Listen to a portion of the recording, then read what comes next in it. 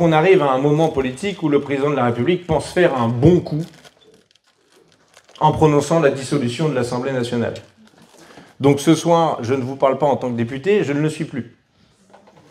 J'espère que ce sera à nouveau le cas euh, le 30 juin, mais je ne le suis plus à cet instant. Et il a fixé les délais les plus compliqués, les plus courts en réalité, pour euh, empêcher les uns et les autres de pouvoir s'organiser normalement pour une campagne électorale. Puisque d'un point de vue strictement matériel, la commission de propagande en préfecture avait lieu et a lieu en ce moment euh, depuis, euh, depuis 18 heures. Et la livraison du matériel électoral devait être faite avant 17 heures. Alors que la dissolution, c'était dimanche dernier. Donc il faut se, retourner, organiser le matériel, l'envoyer à l'imprimeur, faire la livraison. Pendant ce temps-là, organiser une campagne, ouvrir un compte de campagne, trouver un mandataire financier. Enfin bon, euh, c'était vraiment euh, quelque chose. Et encore, euh, moi ça va, on est organisé, il n'y a pas de difficulté. Je veux dire, ça va. mais franchement, j'imagine même pas la galère que ça a été et que c'est encore dans le pays, y compris pour des gens qui sont de bonne volonté euh, et où il n'y avait pas de difficulté sur leur circonscription, euh, la galère euh, administrative que c'est. Et je sais qu'Emmanuel Macron mise en partie là-dessus. Vous avez vu la déclaration qui a été assez commentée, mais qu'il a démenti, soi-disant, mais que le monde confirme comme étant une information exacte, en disant, regarde, lors d'un déplacement, là, dans le cadre du, du débarquement en plus, je leur ai balancé une grenade dégoupillée dans les jambes, et on va voir ce que ça va faire. Bon, c'est un peu une drôle de manière de faire de la politique, puisque le plan, on peut imaginer en tout cas que le plan d'Emmanuel Macron n'a jamais été que la gauche accède au pouvoir après la dissolution de l'Assemblée nationale. On peut au moins se mettre d'accord là-dessus. Et que, à tout le moins, il s'est dit bon, peut-être que en saisissant le moment politique tel qu'il est, la gauche déconfite, on va se retrouver au deuxième tour partout, nous, le, le, parti présidentiel, euh, face au RN, et on va gagner plein de duels parce que les gens de gauche seront obligés de voter pour nous. Et comme ça, euh, on aura plus de députés qu'avant. Bon, euh, c'est mal barré. C'est mal barré et à la limite, c'est pas notre affaire. Parce que la séquence politique dans laquelle on se trouve, à la différence d'un 21 avril 2022, où vous aviez le choix entre le président Chirac, il n'était pas encore président à ce moment-là, mais un type de droite, et le candidat de l'extrême droite, Jean-Marie Le Pen, là, on est dans une autre configuration politique. Parce que ce n'est pas juste faire campagne pour rejeter l'extrême droite et son projet politique, c'est une campagne pour faire gagner le nouveau Front populaire. Et ça change radicalement les choses. Parce que ce sont deux moteurs essentiels de l'action. Un des premiers moteurs, c'est de rejeter ce dont on ne veut pas, l'extrême droite. Et on sait que c'est un moteur assez efficace, euh, le rejet de quelque chose dont on ne veut pas voir la mise en œuvre. Et puis, euh, le deuxième moteur, c'est vraiment l'application d'un programme de rupture pour changer concrètement la vie des gens. Et si vous n'avez pas encore lu le programme du nouveau Front Populaire, lisez-le. Parce qu'il va vous dire ce qu'on peut faire immédiatement, ce qu'on devra faire immédiatement. Et on ne pourra pas tout faire d'un coup, et on ne pourra pas tout faire tout de suite. Pourquoi je vous dis ça? Parce que les choses vont se précipiter euh, dès après le 30 juin et ensuite le, 7 juillet. J'espère que, nous aurons la victoire, mais j'ai envie au moins d'évoquer euh, l'hypothèse de la victoire. Même une majorité relative, mais partons d'une hypothèse d'une majorité absolue, euh, même, à, même à 290, hein, ça fera l'affaire, et d'un gouvernement du nouveau Front populaire. Séance tenante, on augmentera le SMIC. Et à ceux qui pensent que oui, mais c'est compliqué euh, pour des raisons économiques, je ne vais pas développer les arguments économiques, je pourrais, mais même d'un point de vue juste strictement juridique, il faut le temps de faire passer une loi, etc. Mais non. L'augmentation du SMIC, c'est un décret. Donc oui, par décret, on va augmenter le SMIC séance tenante. Pour le fixer au niveau du montant qui a été indiqué, c'est-à-dire 1600 euros euh, net euh, tout de suite. Il y a plein de choses comme ça qu'on pourra faire par décret. On pourra abroger les décrets de la réforme de la retraite à 64 ans, ce qui fait que mécaniquement, c'est 62 qui s'appliquent. Donc tous ceux qui ont 62 ans et une carrière euh, qui leur permet de partir à la retraite, ils pourront partir à la retraite euh, dès euh, notre arrivée au pouvoir. C'est des choses comme ça qui sont importantes de signifier dans cette campagne électorale. De dire que nous ne serions pas impuissants vis-à-vis -vis de la situation politique. Alors vous avez vu évidemment que la campagne contre le nouveau Front Populaire, euh, bon, il y a du monde. Hein. L'extrême droite, évidemment, euh, ne veut pas qu'on gagne leur place, je les comprends. Euh, les macronistes non plus, mais les médias, ils se donnent du mal en ce moment. Hein. C'est vraiment genre, bon, déjà d'habitude, ils se donnent beaucoup de mal. Alors là, c'est vraiment fou. Et notamment parce que vous avez vu, hein, avec vous, c'est, on rase gratis. C'est un programme à plus de 300 milliards d'euros. Alors, ils expliquent même pas comment euh, ils fixent leurs propres chiffres. Nous, on sait à peu près chiffrer euh, les annonces qu'on a faites, mais ils savent eux pas le dire. Par exemple, dans les 300 milliards de, dépenses qu'on ferait, ils mettent l'augmentation du SMIC.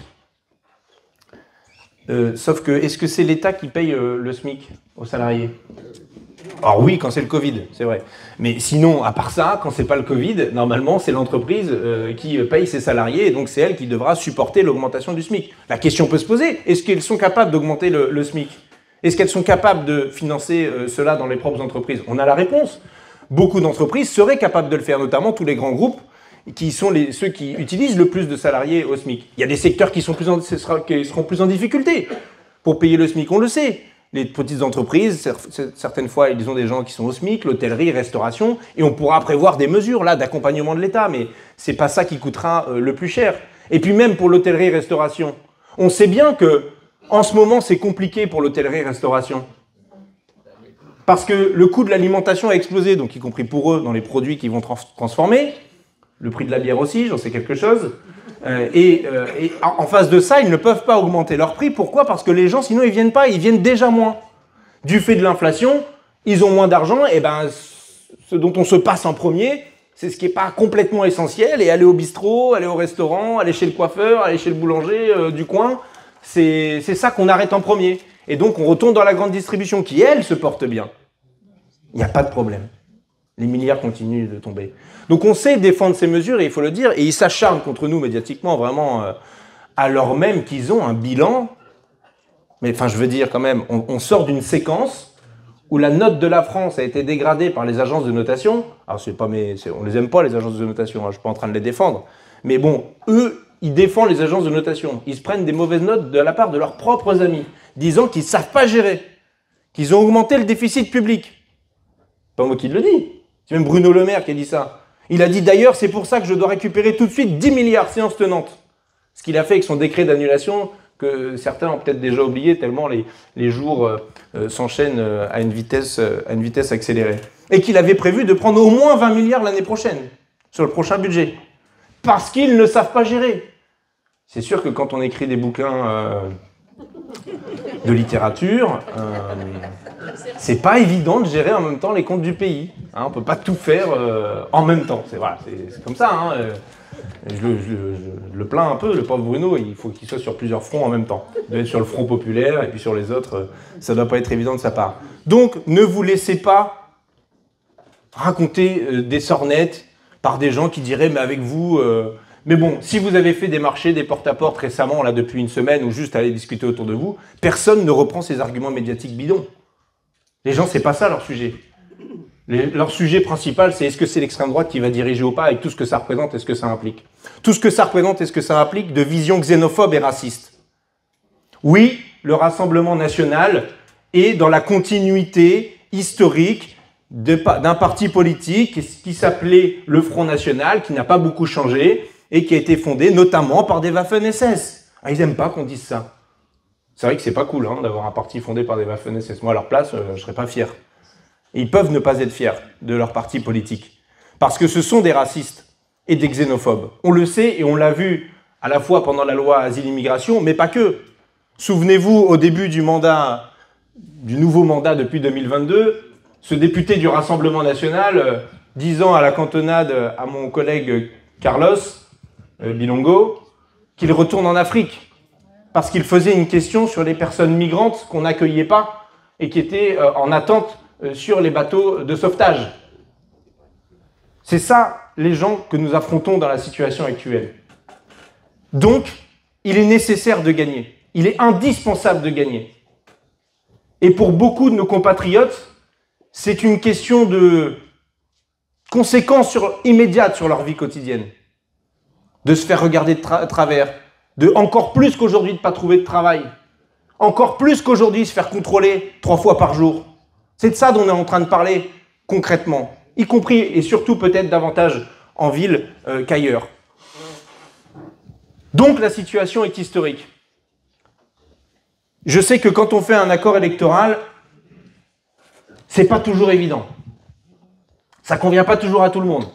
Et j'ai même envie de dire que souvent, il y a une partie de l'accord électoral qui ne convient pas à tout le monde et à chacune des parties prenantes. C'est le principe d'une négociation, vous devez faire des concessions et vous auriez, vous aviez, vous n'aviez pas envie de les faire avant de rentrer dans la salle de négociation.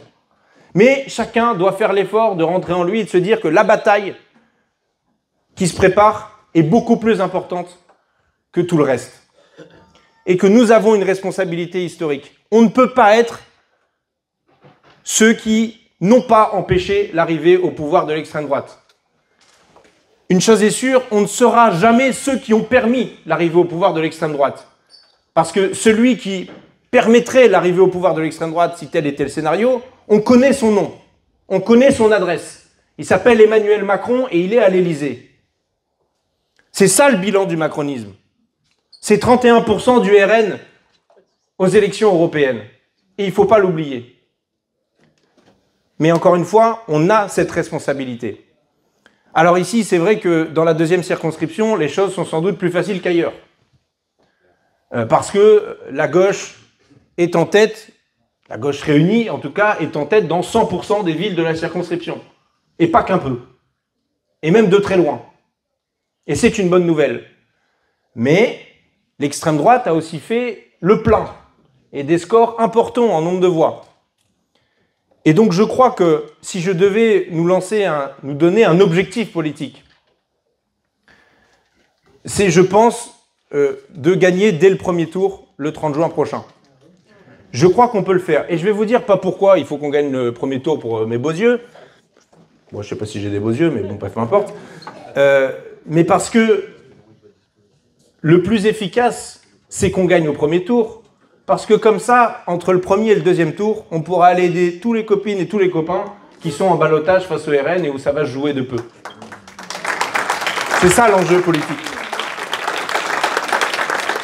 C'est pour ça que vous dites pas, oui, de toute façon, sur la deuxième, c'est bon, c'est gagné d'avance, allez, on va... Bon, après, si vous avez envie d'aller tout de suite militer ailleurs, je vous en voudrais pas, hein, franchement. Moi, ce que je pense dans la séquence, c'est que chacun doit faire comme il a envie, mais doit faire quelque chose. Faites ce que vous voulez, mais faites quelque chose. Voilà, si vous trouvez que je vous conviens pas, bah allez dans la circo d'à côté, il y a peut-être quelqu'un qui vous convient mieux dans telle ou telle autre circonscription. Je m'en fiche. Non, mais vraiment, je le dis très sincèrement et je l'avais déjà dit en 2022 quand on avait fait la nouvelle Union populaire écologique et sociale. L'important, c'est de faire quelque chose, d'être dans l'action, d'aller discuter avec les gens. Et on l'a vu pour cette campagne des européennes, là où nous, insoumis, nous avons mené une, une action plus particulière, plus intense, de porte à porte, c'est-à-dire dans les quartiers populaires, où on a fait reculer l'abstention.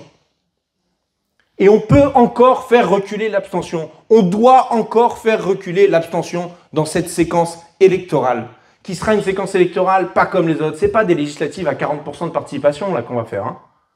Ça ressemble plutôt à une présidentielle à 65-70%. D'ailleurs, je ne sais pas si dans les sondages, ils s'avancent à des estimations de participation. Je pense qu'à mon avis, ils s'avancent plus à, à, très grand chose.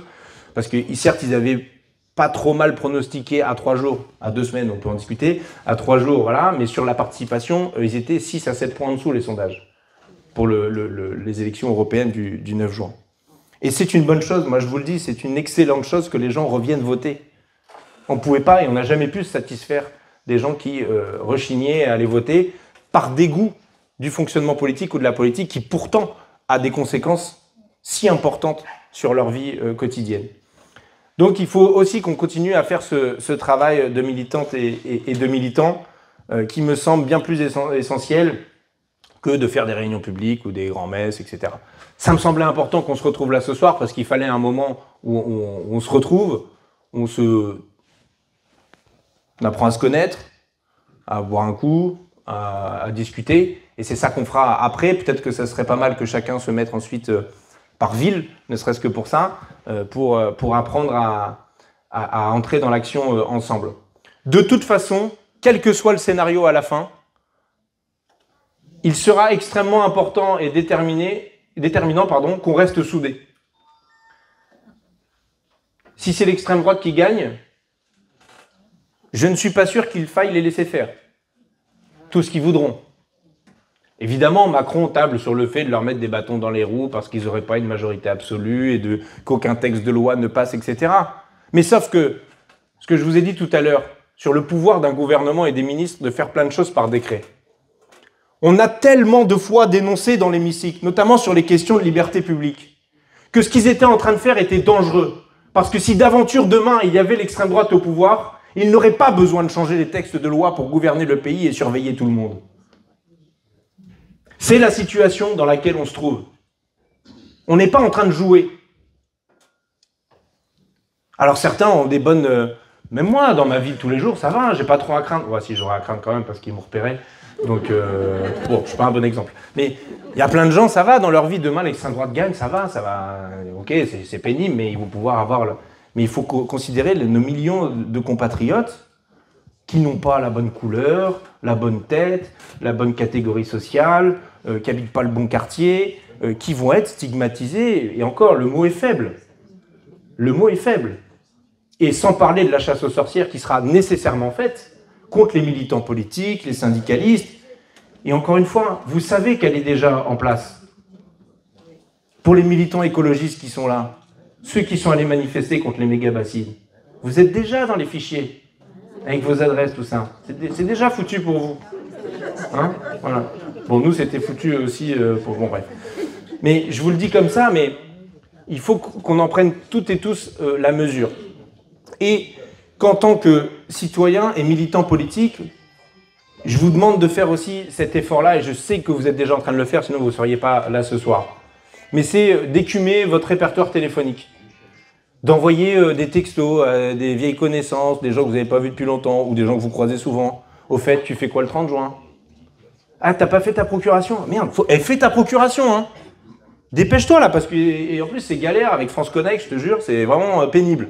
Donc s'il te plaît, fais ta procuration tout de suite. C'est ça que vous devez dire à, vos amis. Et pour les deux tours si possible. Je vous rappelle que pour les procurations, il n'y a pas besoin d'habiter la commune, ni même le même bureau de vote. Hein Ceux qui ont, un plein d'essence, ils peuvent euh, voter euh, pour plus loin que prévu. Mais c'est important de se dire parce que ça va être aussi une bataille de la mobilisation par ces aspects-là. On va pas se raconter d'histoire. Le 30 juin et le 7 juillet, il y a des gens qui sont déjà partis. C'est ça la, réalité aussi. Sans parler de ceux qui n'avaient déjà pas voté aux élections européennes le 9 juin dernier parce qu'ils étaient déjà pas là, n'avaient pas vu, pas réussi à faire leur procuration. Et pareil, je suis sûr qu'autour de vous, vous avez des gens qui ne sont pas allés voter parce qu'ils se sont rendus compte dans la dernière ligne droite, soit le jour du vote, soit avant, en essayant de faire une procuration, qu'ils avaient été radiés des listes électorales. Pareil, c'est maintenant là, ça commence, dès, maintenant ils peuvent remplir un CERFA qui est disponible sur internet. Ils disent voilà, j'ai été radié, j'ai pas reçu le courrier me disant que j'ai été radié, et d'aller au tribunal judiciaire de Lille en l'occurrence, ou le tribunal judiciaire le plus proche si c'est vos amis ailleurs en France, pour se faire réintégrer sur les listes électorales. C'est maintenant que ça se passe. Alors ça se passe aussi le jour du vote, mais je vous déconseille de le faire le jour du vote. Il y aura une file d'attente et si la probabilité que vous réussissiez à aller voter ensuite le jour J, euh, est quand même très faible. Moi, j'ai mon frère en 2022 qui a réussi, non, en 2017, pardon, qui a réussi à faire ça. Euh, il est allé au tribunal à 15h, il a réussi à retourner dans, dans, dans, son petit village dans le Pas-de-Calais avant 18h, mais c'était chaud, il a voté à 17h55.